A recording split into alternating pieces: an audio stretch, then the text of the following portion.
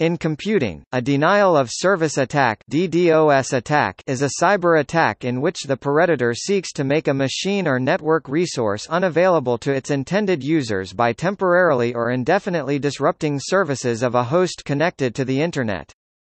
Denial of service is typically accomplished by flooding the targeted machine or resource with superfluous requests in an attempt to overload systems and prevent some or all legitimate requests from being fulfilled. In a distributed denial of service attack (DDoS attack), the incoming traffic flooding the victim originates from many different sources. This effectively makes it impossible to stop the attack simply by blocking a single source. A DOS or DDoS attack is analogous to a group of people crowding the entry door of a shop, making it hard for legitimate customers to enter, disrupting trade. Criminal perpetrators of DOS attacks often target sites or services hosted on high-profile web servers such as banks or credit card payment gateways. Revenge, blackmail and activism can motivate these attacks.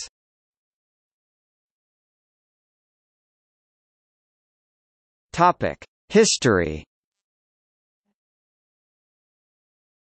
Court testimony shows that the first demonstration of DOS attack was made by Khan C. Smith in 1997 during a DEF CON event, disrupting Internet access to the Las Vegas Strip for over an hour. The release of sample code during the event led to the online attack of Sprint, Earthlink, E-Trade, and other major corporations in the year to follow. On March 5, 2018, an unnamed customer of the US-based service provider Arbor Networks fell victim to the largest DDoS in history, reaching a peak of about 1.7 terabits per second. The previous record was set a few days earlier. On March 1, 2018, GitHub was hit by an attack of 1.35 terabits per second.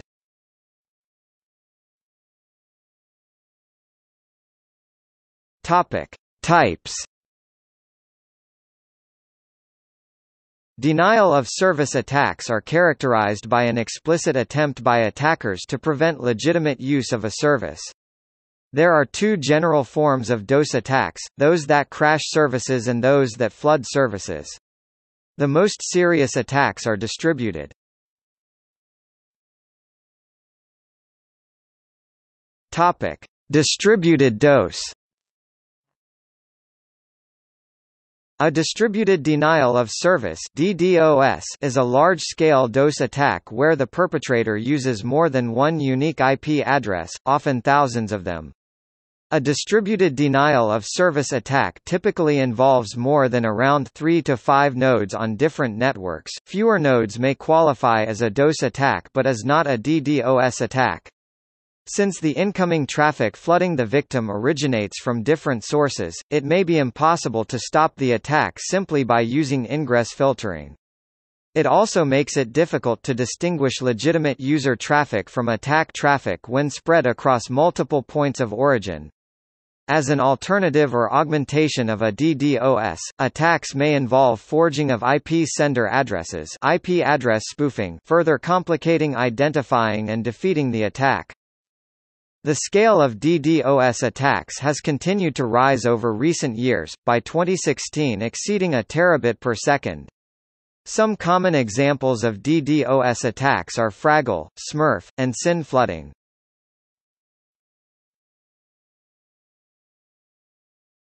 Topic: Application layer attacks. An application layer DDoS attack sometimes referred to as Layer 7 DDoS attack is a form of DDoS attack where attackers target application layer processes. The attack over exercises specific functions or features of a website with the intention to disable those functions or features. This application layer attack is different from an entire network attack, and is often used against financial institutions to distract IT and security personnel from security breaches. In 2013, application layer DDoS attacks represented 20% of all DDoS attacks. According to research by Akamai Technologies, there have been 51% more application layer attacks from Q4 2013 to Q4 2014 and 16% more from Q3 2014 over Q4 2014. In November 2017, Junade Ali, a computer scientist at Cloudflare noted that whilst network-level attacks continue to be of high capacity, they are occurring less frequently. Ali further notes that although network-level attacks are becoming less frequent, data from Cloudflare demonstrates that application layer attacks are still showing no sign of slowing down.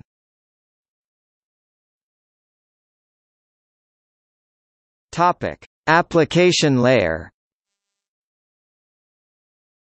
The OSI model ISO IEC 7498-1 is a conceptual model that characterizes and standardizes the internal functions of a communication system by partitioning it into abstraction layers. The model is a product of the Open Systems Interconnection Project at the International Organization for Standardization ISO.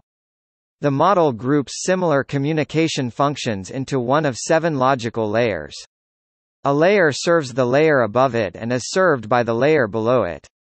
For example, a layer that provides error-free communications across a network provides the communications path needed by applications above it, while it calls the next lower layer to send and receive packets that traverse that path. In the OSI model, the definition of its application layer is narrower in scope than is often implemented. The OSI model defines the application layer as being the user interface. The OSI application layer is responsible for displaying data and images to the user in a human-recognizable format and to interface with the presentation layer below it. In an implementation, the application and presentation layers are frequently combined.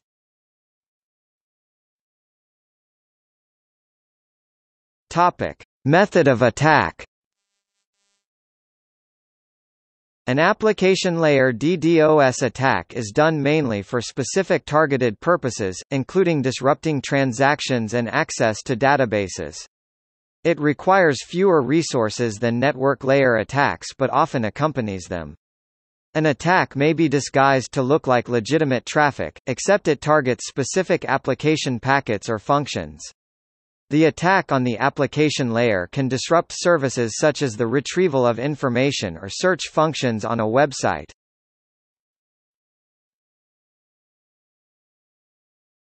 Topic: Advanced persistent DOS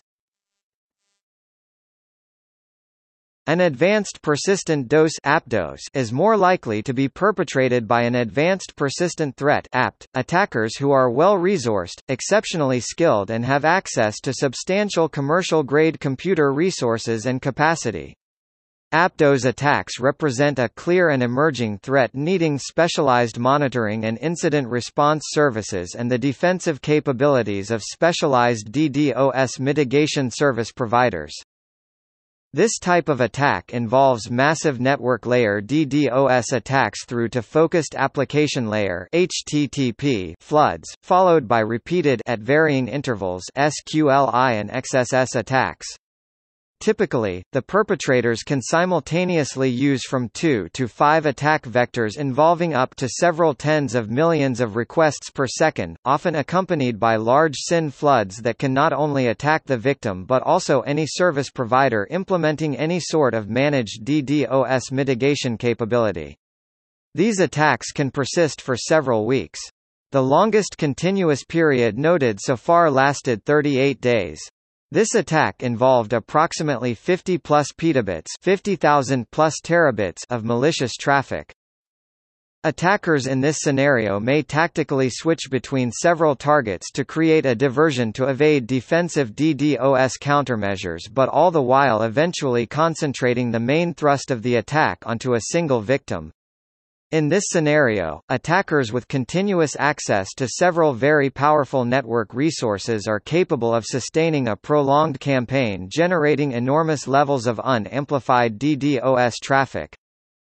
APDOS attacks are characterized by Advanced reconnaissance pre-attack OSINT and extensive decoyed scanning crafted to evade detection over long periods Tactical execution attack with both primary and secondary victims but focus is on primary.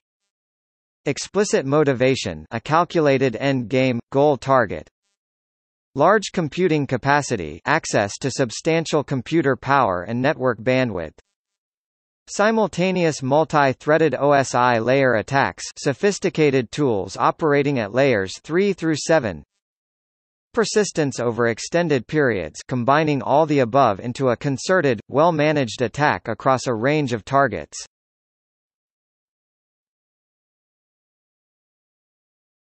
Topic. Denial of service as a service Some vendors provide so-called booter or stressor services, which have simple web-based front ends, and accept payment over the web. Marketed and promoted as stress testing tools, they can be used to perform unauthorized denial of service attacks, and allow technically unsophisticated attackers access to sophisticated attack tools without the need for the attacker to understand their use. Usually powered by a botnet, the traffic produced by a consumer stressor can range anywhere from 5 to 50 gigabits per second, which can, in most cases, deny the average home user Internet access.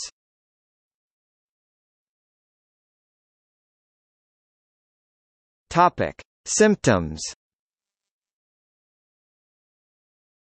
The United States Computer Emergency Readiness Team US CERT has identified symptoms of a denial of service attack to include unusually slow network performance opening files or accessing websites unavailability of a particular website inability to access any website Dramatic increase in the number of spam emails received this type of DOS attack is considered an email bomb. Additional symptoms may include disconnection of a wireless or wired Internet connection, Long-term denial of access to the web or any Internet services, if the attack is conducted on a sufficiently large scale, entire geographical regions of Internet connectivity can be compromised without the attacker's knowledge or intent by incorrectly configured or flimsy network infrastructure equipment.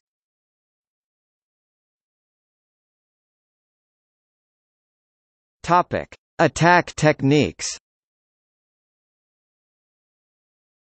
A wide array of programs are used to launch DOS attacks.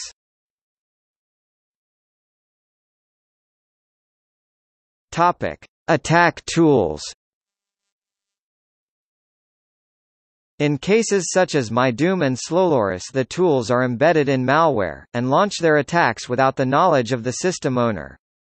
Stacheldraht is a classic example of a DDoS tool. It uses a layered structure where the attacker uses a client program to connect to handlers, which are compromised systems that issue commands to the zombie agents, which in turn facilitate the DDoS attack. Agents are compromised via the handlers by the attacker, using automated routines to exploit vulnerabilities in programs that accept remote connections running on the targeted remote hosts.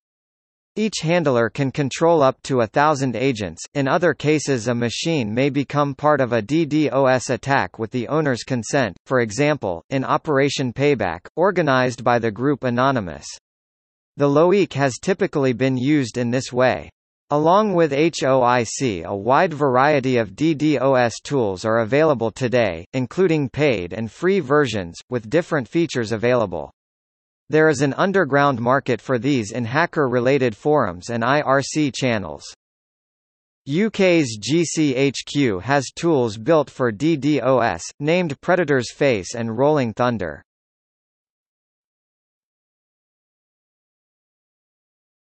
Topic: Application layer floods.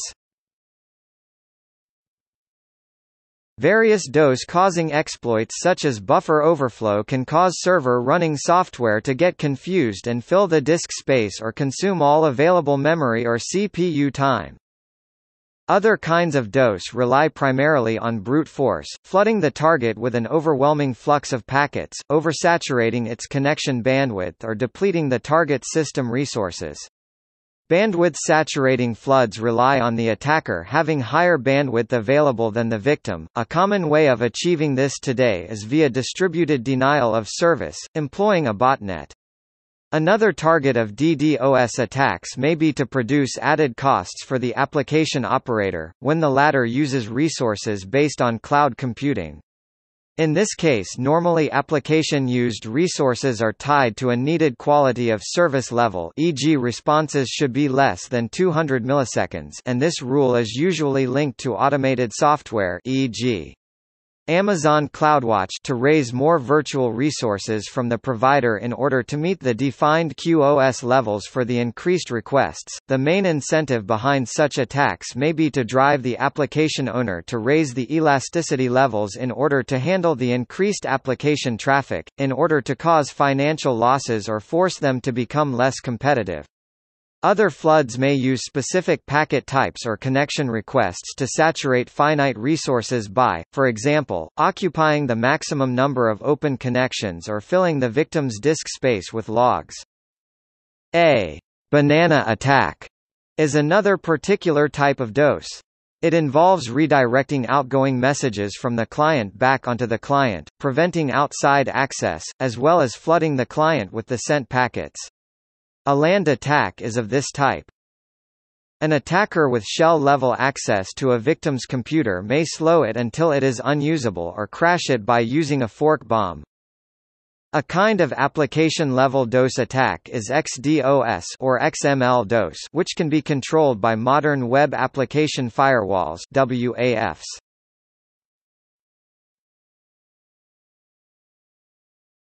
Topic: Degradation of service attacks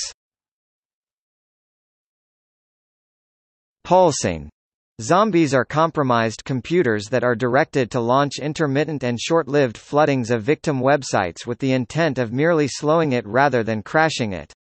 This type of attack, referred to as degradation of service, rather than denial of service, can be more difficult to detect than regular zombie invasions and can disrupt and hamper connection to websites for prolonged periods of time, potentially causing more disruption than concentrated floods.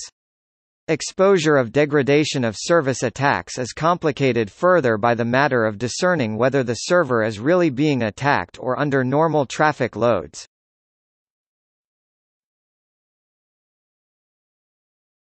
Topic: Denial of service level 2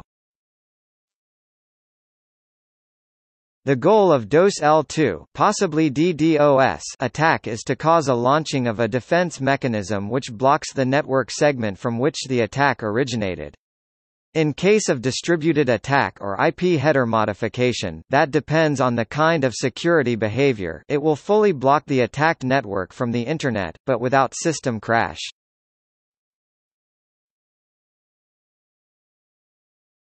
Topic: Distributed DOS attack. A distributed denial of service DDoS attack occurs when multiple systems flood the bandwidth or resources of a targeted system, usually one or more web servers. Such an attack is often the result of multiple compromised systems for example, a botnet flooding the targeted system with traffic. A botnet is a network of zombie computers programmed to receive commands without the owner's knowledge. When a server is overloaded with connections, new connections can no longer be accepted. The major advantages to an attacker of using a distributed denial of service attack are that multiple machines can generate more attack traffic than one machine, multiple attack machines are harder to turn off than one attack machine, and that the behavior of each attack machine can be stealthier, making it harder to track and shut down. These attacker advantages cause challenges for defense mechanisms. For example, merely purchasing more incoming bandwidth than the current volume of the attack might not help, because the attacker might be able to simply add more attack machines. This, after all, will end up completely crashing a website for periods of time. Malware can carry DDoS attack mechanisms, one of the better known examples of this was MyDoom. Its DOS mechanism was triggered on a specific date and time. This type of DDoS involved hardcoding the target IP address prior to release of the malware and no further interaction was necessary to launch the attack. A system may also be compromised with a Trojan, allowing the attacker to download a zombie agent, or the Trojan may contain one. Attackers can also break into systems using automated tools that exploit flaws in programs that listen for connections from remote hosts. This scenario primarily concerns systems acting as servers on the web. Stacheldraht is a classic example of a DDoS tool.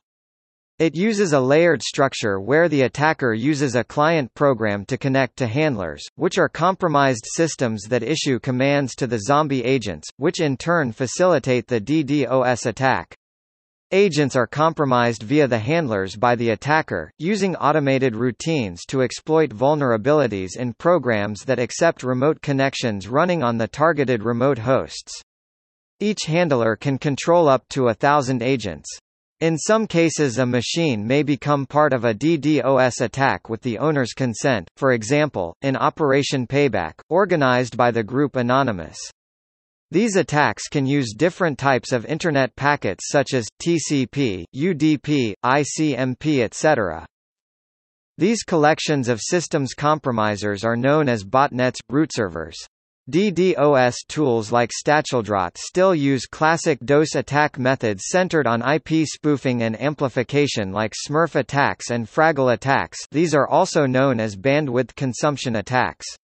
SYN floods also known as resource starvation attacks may also be used. Newer tools can use DNS servers for DOS purposes. Unlike MyDoom's DDoS mechanism, botnets can be turned against any IP address. Script kiddies use them to deny the availability of well-known websites to legitimate users. More sophisticated attackers use DDoS tools for the purposes of extortion, even against their business rivals. Simple attacks such as SYN floods may appear with a wide range of source IP addresses, giving the appearance of a well-distributed DOS. These flood attacks do not require completion of the TCP three-way handshake and attempt to exhaust the destination SYN queue or the server bandwidth. Because the source IP addresses can be trivially spoofed, an attack could come from a limited set of sources, or may even originate from a single host. Stack enhancements such as SYN cookies may be effective mitigation against SYN queue flooding, however complete bandwidth exhaustion may require involvement. If an attacker mounts an attack from a single host it would be classified as a DOS attack. In fact, any attack against availability would be classed as a denial of service attack. On the other hand, if an attacker uses many systems to simultaneously launch attacks against a remote host, this would be classified as a DDoS attack. It has been reported that there are new attacks from Internet of Things which have been involved in denial of service attacks. In one noted attack that was made peaked at around 20,000 requests per second which came from around 900 CCTV cameras. UK's GCHQ has tools built for DDoS, named Predator's Face and Rolling Thunder.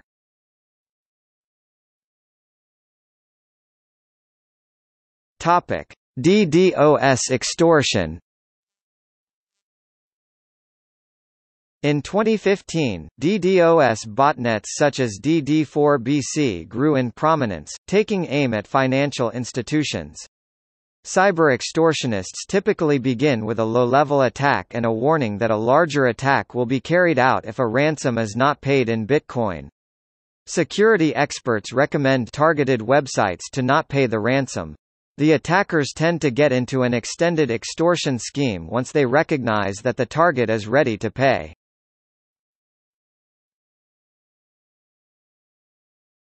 Topic: HTTP post-DOS attack First discovered in 2009, the HTTP post attack sends a complete, legitimate HTTP post header, which includes a content length field to specify the size of the message body to follow. However, the attacker then proceeds to send the actual message body at an extremely slow rate e.g. 1 byte, 110 seconds. Due to the entire message being correct and complete, the target server will attempt to obey the content length field in the header, and wait for the entire body of the message to be transmitted, which can take a very long time. The attacker establishes hundreds or even thousands of such connections, until all resources for incoming connections on the server the victim are used up, hence making any further including legitimate connections impossible until all data has been sent. It is notable that unlike many other DDoS attacks, which try to subdue the server by overloading its network or CPU, a HTTP post attack targets the logical resources of the victim, which means the victim would still have enough network bandwidth and processing power to operate. Further combined with the fact that Apache will, by default, accept requests up to 2 GB in size, this attack can be particularly powerful. HTTP post attacks are difficult to differentiate from legitimate connections, and are therefore able to bypass some protection systems. OWASP, an open-source web application security project, has released a testing tool to test the security of servers against this type of attacks.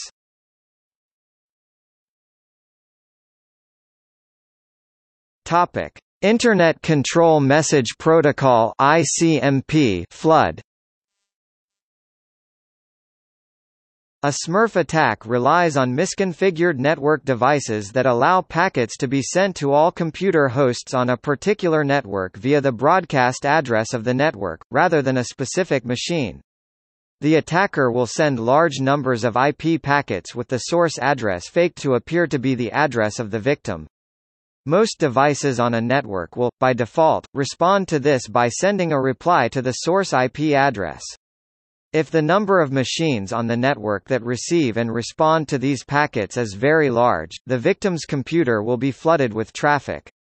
This overloads the victim computer and can even make it unusable during such attack. Ping flood is based on sending the victim an overwhelming number of ping packets, usually using the ping Command from Unix-like hosts the T-flag on Windows systems is much less capable of overwhelming a target, also the L size flag does not allow sent packet size greater than 65500 in Windows. It is very simple to launch, the primary requirement being access to greater bandwidth than the victim. Ping of death is based on sending the victim a malformed ping packet, which will lead to a system crash on a vulnerable system. The Blacknurse attack is an example of an attack taking advantage of the required destination port unreachable ICMP packets.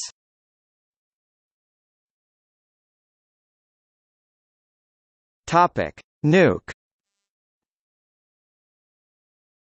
A nuke is an old denial-of-service attack against computer networks consisting of fragmented or otherwise invalid ICMP packets sent to the target, achieved by using a modified ping utility to repeatedly send this corrupt data, thus slowing down the affected computer until it comes to a complete stop. A specific example of a nuke attack that gained some prominence is the WinNuke, which exploited the vulnerability in the NetBIOS handler in Windows 95. A string of out-of-band data was sent to TCP port 139 of the victim's machine, causing it to lock up and display a blue screen of death BSOD.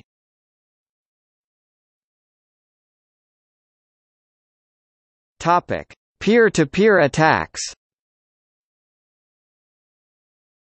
Attackers have found a way to exploit a number of bugs in peer-to-peer -peer servers to initiate DDoS attacks. The most aggressive of these peer-to-peer -peer DDoS attacks exploits DC++. With peer-to-peer -peer there is no botnet and the attacker does not have to communicate with the clients it subverts. Instead, the attacker acts as a puppet master, instructing clients of large peer-to-peer -peer file sharing hubs to disconnect from their peer-to-peer -peer network and to connect to the victim's website instead.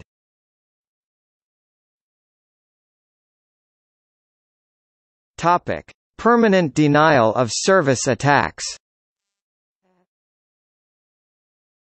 Permanent denial of service PDoS, also known loosely as flashing, is an attack that damages a system so badly that it requires replacement or reinstallation of hardware. Unlike the distributed denial of service attack, a PDoS attack exploits security flaws which allow remote administration on the management interfaces of the victim's hardware, such as routers, printers, or other networking hardware. The attacker uses these vulnerabilities to replace a device's firmware with a modified, corrupt, or defective firmware image—a process which when done legitimately is known as flashing. This therefore, bricks the device, rendering it unusable for its original purpose until it can be repaired or replaced. The PDoS is a pure hardware-targeted attack which can be much faster and requires fewer resources than using a botnet or a root v server in a DDoS attack.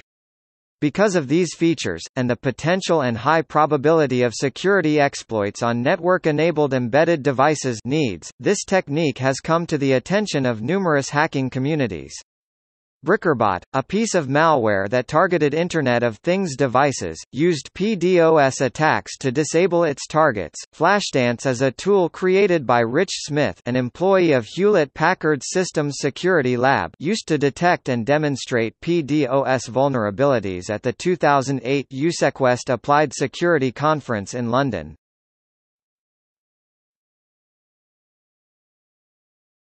Topic: Reflected, spoofed attack A distributed denial-of-service attack may involve sending forged requests of some type to a very large number of computers that will reply to the requests. Using Internet Protocol address spoofing, the source address is set to that of the targeted victim, which means all the replies will go to and flood the target. This reflected attack form is sometimes called a DRDoS ICMP echo request attacks Smurf attack can be considered one form of reflected attack, as the flooding hosts send echo requests to the broadcast addresses of MIS-configured networks, thereby enticing hosts to send echo reply packets to the victim.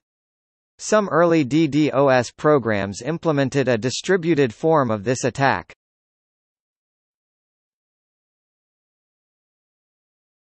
Topic: Amplification. Amplification attacks are used to magnify the bandwidth that is sent to a victim. This is typically done through publicly accessible DNS servers that are used to cause congestion on the target system using DNS response traffic. Many services can be exploited to act as reflectors, some harder to block than others.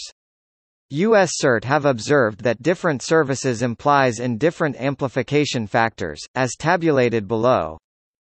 DNS amplification attacks involve a new mechanism that increased the amplification effect, using a much larger list of DNS servers than seen earlier. The process typically involves an attacker sending a DNS name lookup request to a public DNS server, spoofing the source IP address of the targeted victim. The attacker tries to request as much information as possible, thus amplifying the DNS response that is sent to the targeted victim. Since the size of the request is significantly smaller than the response, the attacker is easily able to increase the amount of traffic directed at the target. SNMP and NTP can also be exploited as reflector in an amplification attack. An example of an amplified DDoS attack through the Network Time Protocol (NTP) is through a command called monlist, which sends the details of the last 600 hosts that have requested the time from the NTP server back to the requester. A small request to this time server can be sent using a spoofed source IP address of some victim, which results in a response 556.9 times the size of the request being sent to the victim. This becomes amplified when using botnets that all send requests with the same spoofed IP source, which will result a massive amount of data being sent back to the victim. It is very difficult to defend against these types of attacks because the response data is coming from legitimate servers. These attack requests are also sent through UDP, which does not require a connection to the server. This means that the source IP is not verified when a request is received by the server. In order to bring awareness of these vulnerabilities, campaigns have been started that are dedicated to finding amplification vectors which has led to people fixing their resolvers or having the resolvers shut down completely.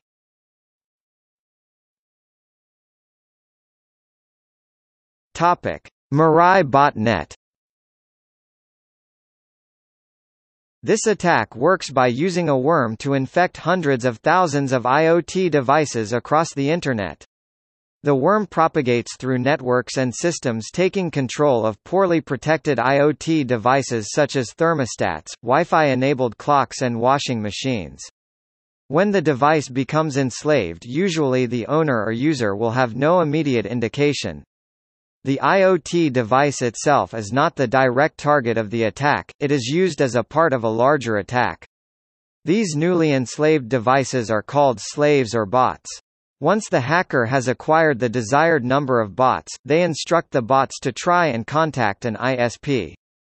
In October 2016, a Mirai botnet attacked Dyn which is the ISP for sites such as Twitter, Netflix, etc.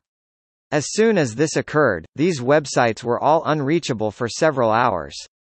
This type of attack is not physically damaging, but it will certainly be costly for any large Internet companies that get attacked.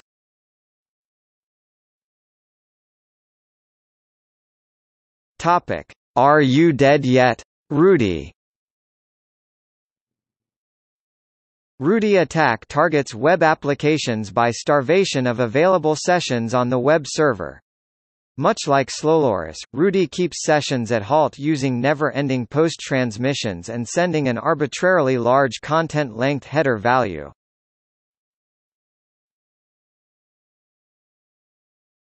Topic: Shrew attack. The shrew attack is a denial-of-service attack on the transmission control protocol. It uses short synchronized bursts of traffic to disrupt TCP connections on the same link, by exploiting a weakness in TCP's retransmission timeout mechanism.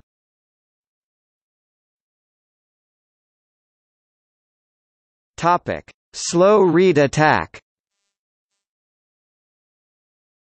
A slow read attack sends legitimate application layer requests, but reads responses very slowly, thus trying to exhaust the server's connection pool.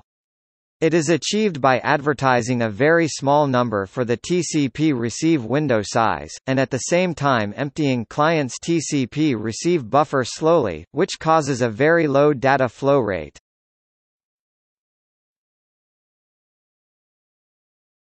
Topic: Sophisticated low-bandwidth distributed denial-of-service attack A sophisticated low-bandwidth DDoS attack is a form of DOS that uses less traffic and increases their effectiveness by aiming at a weak point in the victim's system design, i.e., the attacker sends traffic consisting of complicated requests to the system. Essentially, a sophisticated DDoS attack is lower in cost due to its use of less traffic, is smaller in size making it more difficult to identify, and it has the ability to hurt systems which are protected by flow control mechanisms.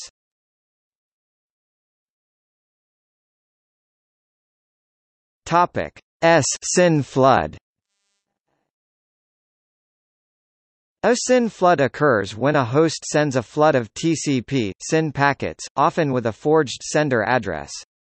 Each of these packets are handled like a connection request, causing the server to spawn a half-open connection, by sending back a TCP, SYN ACK packet acknowledge, and waiting for a packet in response from the sender address response to the ACK packet.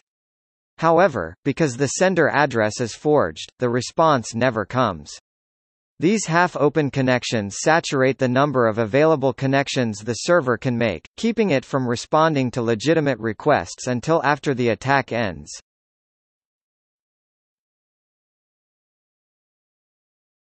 Topic: Teardrop attacks. A teardrop attack involves sending mangled IP fragments with overlapping, oversized payloads to the target machine. This can crash various operating systems because of a bug in their TCP, IP fragmentation reassembly code.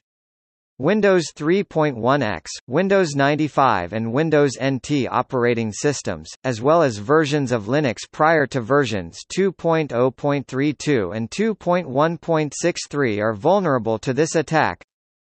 Although in September 2009, a vulnerability in Windows Vista was referred to as a teardrop attack. This targeted SMB2 which is a higher layer than the TCP packets that Teardrop used. One of the fields in an IP header is the fragment offset field, indicating the starting position, or offset, of the data contained in a fragmented packet relative to the data in the original packet. If the sum of the offset and size of one fragmented packet differs from that of the next fragmented packet, the packets overlap. When this happens, a server vulnerable to teardrop attacks is unable to reassemble the packets, resulting in a denial of service condition.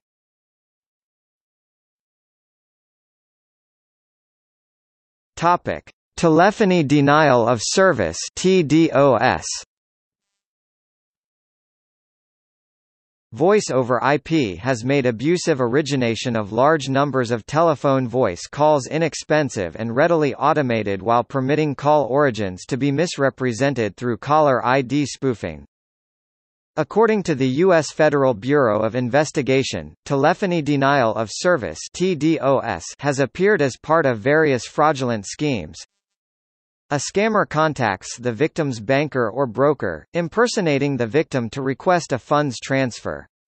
The banker's attempt to contact the victim for verification of the transfer fails as the victim's telephone lines are being flooded with thousands of bogus calls, rendering the victim unreachable. A scammer contacts consumers with a bogus claim to collect an outstanding payday loan for thousands of dollars.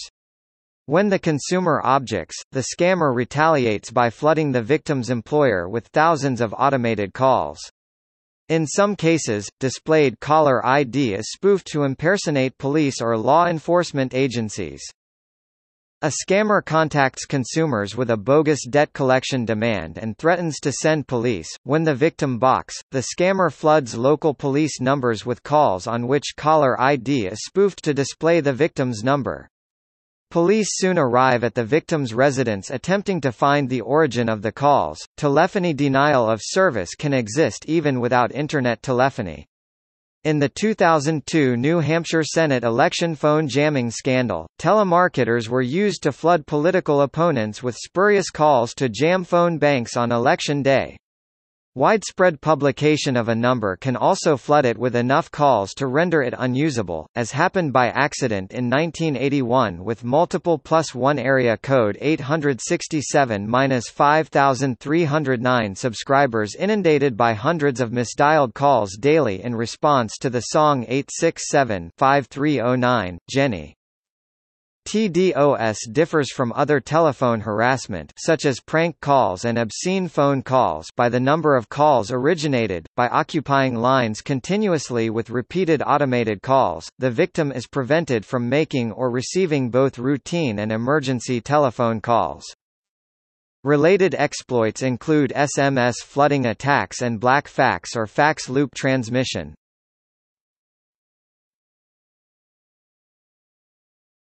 Topic: UPnP attack.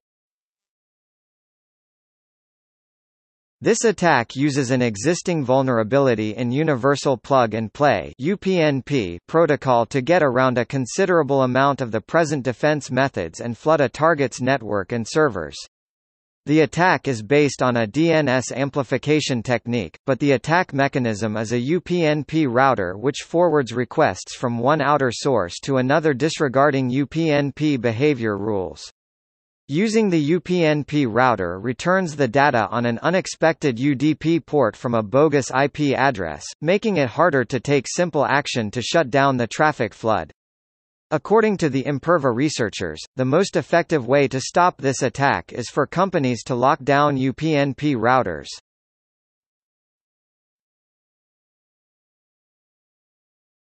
Topic: Defense techniques.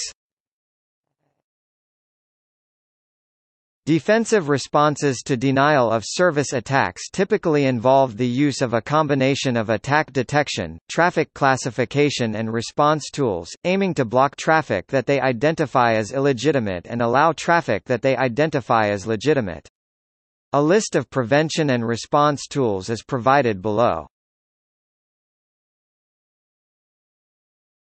Topic: Application front-end hardware Application front-end hardware is intelligent hardware placed on the network before traffic reaches the servers. It can be used on networks in conjunction with routers and switches. Application front-end hardware analyzes data packets as they enter the system, and then identifies them as priority, regular, or dangerous. There are more than 25 bandwidth management vendors.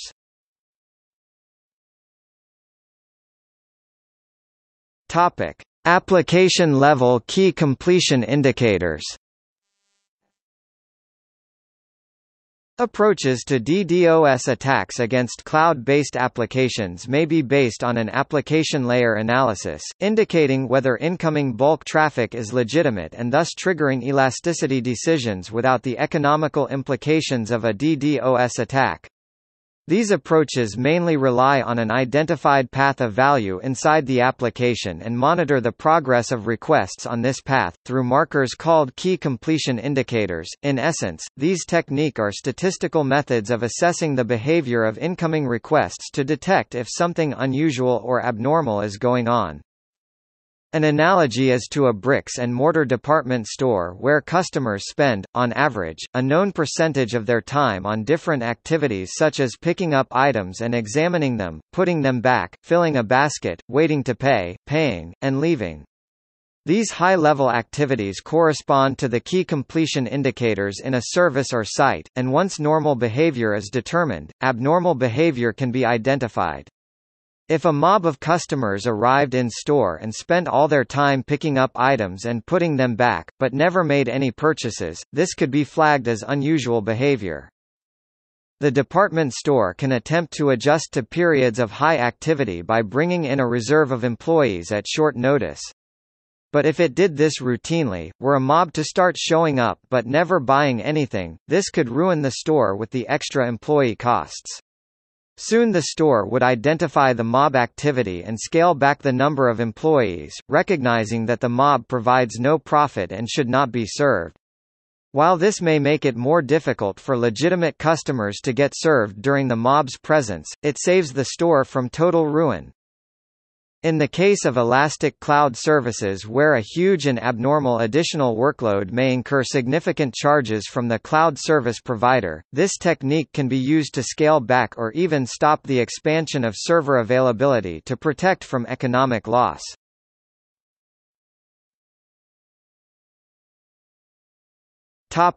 Blackholing and sinkholing. With black hole routing, all the traffic to the attacked DNS or IP address is sent to a black hole null interface or a non-existent server. To be more efficient and avoid affecting network connectivity, it can be managed by the ISP. A DNS sinkhole routes traffic to a valid IP address which analyzes traffic and rejects bad packets. Sinkholing is not efficient for most severe attacks.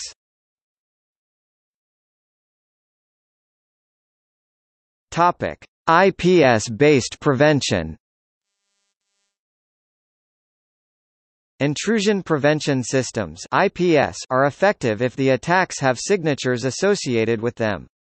However, the trend among the attacks is to have legitimate content but bad intent. Intrusion prevention systems which work on content recognition cannot block behavior-based DOS attacks. An ASIC-based IPS may detect and block denial of service attacks because they have the processing power and the granularity to analyze the attacks and act like a circuit breaker in an automated way. A rate-based IPS (RBIPS) must analyze traffic granularly and continuously monitor the traffic pattern and determine if there is traffic anomaly. It must let the legitimate traffic flow while blocking the DOS attack traffic.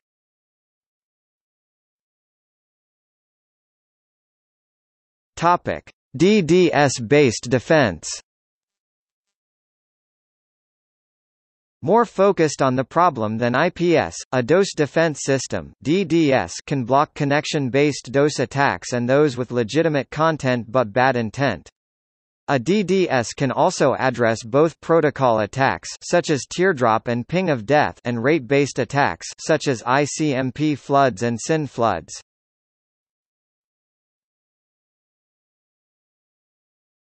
Topic: Firewalls In the case of a simple attack, a firewall could have a simple rule added to deny all incoming traffic from the attackers, based on protocols, ports or the originating IP addresses. More complex attacks will however be hard to block with simple rules, for example, if there is an ongoing attack on port 80 web service, it is not possible to drop all incoming traffic on this port because doing so will prevent the server from serving legitimate traffic. Additionally, firewalls may be too deep in the network hierarchy, with routers being adversely affected before the traffic gets to the firewall. Also, many security tools still do not support IPv6 or may not be configured properly, so the firewalls often might get bypassed during the attacks.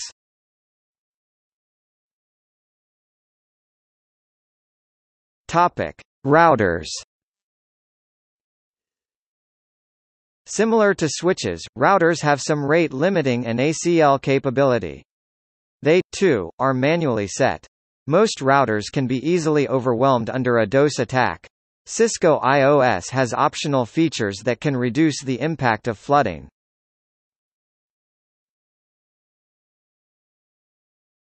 Topic: Switches.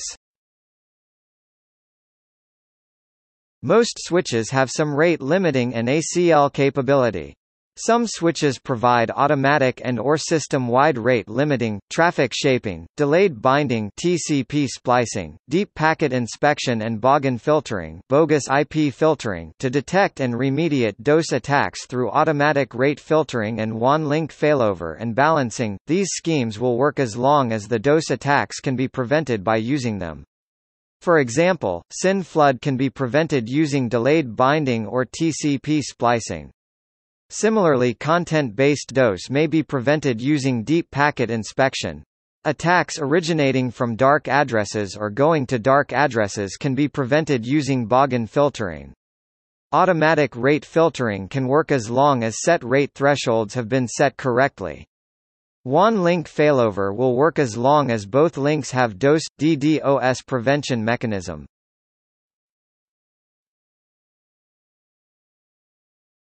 Topic: Upstream filtering. All traffic is passed through a cleaning center or a scrubbing center via various methods such as proxies, tunnels, digital cross connects, or even direct circuits, which separates bad traffic DDoS and also other common internet attacks and only sends good traffic beyond to the server. The provider needs central connectivity to the Internet to manage this kind of service unless they happen to be located within the same facility as the cleaning center or scrubbing center. DDoS attacks can overwhelm any type of hardware firewall, and passing malicious traffic through large and mature networks becomes more and more effective and economically sustainable against DDoS. Topic unintentional denial of service An unintentional denial of service can occur when a system ends up denied, not due to a deliberate attack by a single individual or group of individuals, but simply due to a sudden enormous spike in popularity. This can happen when an extremely popular website posts a prominent link to a second, less well-prepared site, for example, as part of a news story. The result is that a significant proportion of the primary site's regular users, potentially hundreds of thousands of people, click that link in the space of a few hours, having the same effect on the target website as a DDoS attack. A VIPDOS is the same, but specifically when the link was posted by a celebrity. When Michael Jackson died in 2009, websites such as Google and Twitter slowed down or even crashed. Many site servers thought the requests were from a virus or spyware trying to cause a denial of service attack, warning users that their queries looked like automated requests from a computer virus or spyware application. News sites and link sites, sites whose primary function is to provide links to interesting content elsewhere on the Internet, are most likely to cause this phenomenon. The canonical example is the Slashdot effect when receiving traffic from Slashdot. It is also known as the Reddit hug of death and the Digg effect. Routers have also been known to create unintentional DOS attacks, as both D-Link and Netgear routers have overloaded NTP servers by flooding NTP servers without respecting the restrictions of client types or geographical limitations. Similar unintentional denials of service can also occur via other media, e.g. when a URL is mentioned on television. If a server is being indexed by Google or another search engine during peak periods of activity, or does not have a lot of available bandwidth while being indexed, it can also experience the effects of a DOS attack. Legal action has been taken in at least one such case. In 2006, Universal Tube and Rollform Equipment Corporation sued YouTube. Massive numbers of would-be YouTube.com users accidentally typed the Tube company's URL, utube.com. As a result, the tube company ended up having to spend large amounts of money on upgrading their bandwidth. The company appears to have taken advantage of the situation, with utube.com now containing ads for advertisement revenue. In March 2014, after Malaysia Airlines Flight 370 went missing, DigitalGlobe launched a crowdsourcing service on which users could help search for the missing jet in satellite images. The response overwhelmed the company's servers. An unintentional denial of service may also result from a prescheduled event created by the website itself, as was the case of the census in Australia in 2016. This could be caused when a server provides some service at a specific time. This might be a university website setting the grades to be available where it will result in many more login requests at that time than any other.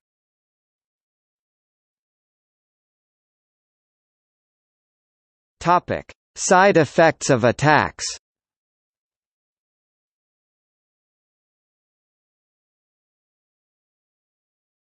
Topic: Backscatter. In computer network security, backscatter is a side effect of a spoofed denial of service attack. In this kind of attack, the attacker spoofs or forges the source address in IP packets sent to the victim. In general, the victim machine cannot distinguish between the spoofed packets and legitimate packets, so the victim responds to the spoofed packets as it normally would. These response packets are known as backscatter. If the attacker is spoofing source addresses randomly, the backscatter response packets from the victim will be sent back to random destinations. This effect can be used by network telescopes as indirect evidence of such attacks. The term Backscatter analysis refers to observing backscatter packets arriving at a statistically significant portion of the IP address space to determine characteristics of DOS attacks and victims.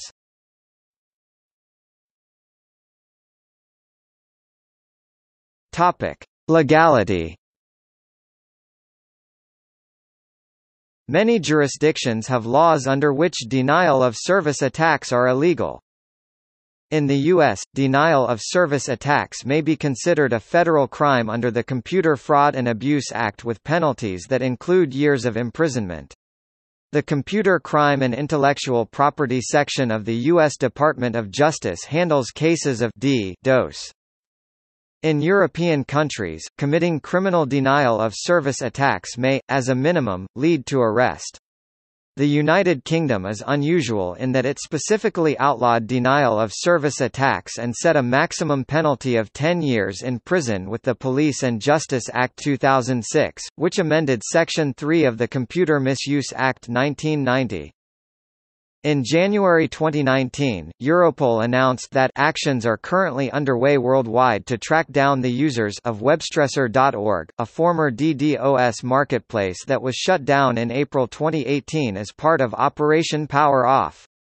Europol said UK police were conducting a number of live operations targeting over 250 users of Webstresser and other DDoS services. On January 7, 2013, Anonymous posted a petition on the whitehouse.gov site asking that DDoS be recognized as a legal form of protest similar to the Occupy protests, the claim being that the similarity in purpose of both are same.